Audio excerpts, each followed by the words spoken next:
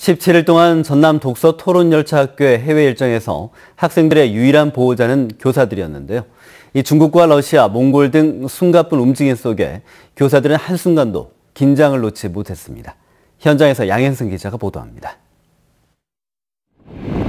독서 토론 열차 학교가 모두 4박 5일을 보냈던 대륙 횡단 열차와 종단 열차.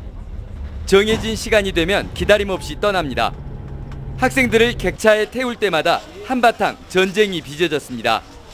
어, 학생들이 자기 몸만한 배낭을 메고 이렇게 기차를 오르고 내리면서 혹시 사고는 나지 않을까 그 부분이 가장 걱정됐던 것 같습니다.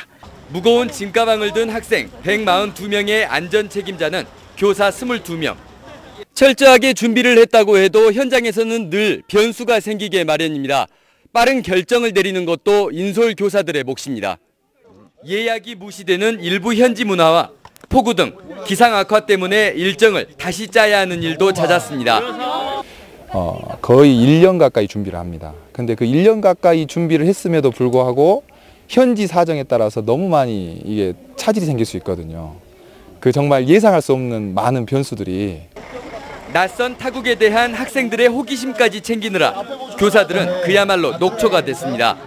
물 같은 거 가져와가지고 나눠주시고 그리고 밤까지 막 회의하실 때 그럴 때 아 고생하시는 여권을 분실하거나 지병이 발병한 학생 등 두 명이 중도 귀국했지만 나머지 독서 토론 열차 학교 학생들은 모두 일정을 무사히 마무리했습니다. MBC 뉴스 양현승입니다.